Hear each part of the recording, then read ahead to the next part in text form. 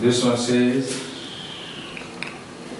if alpha and beta are the roots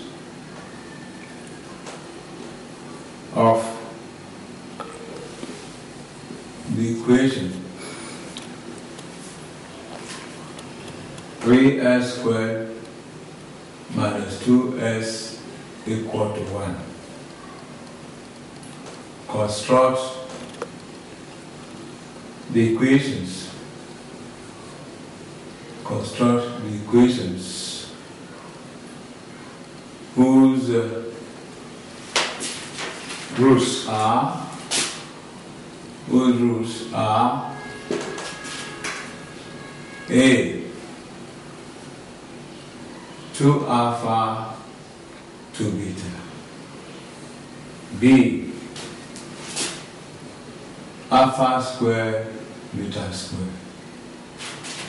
C. 1 over alpha 1 over beta. D.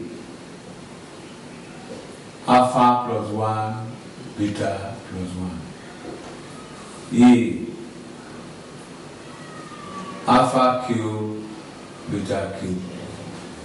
F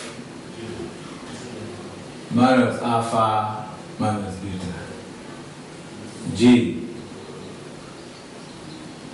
Alpha minus 2 beta minus 2 H.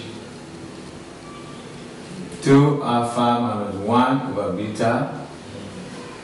And 2 beta minus 1 over alpha.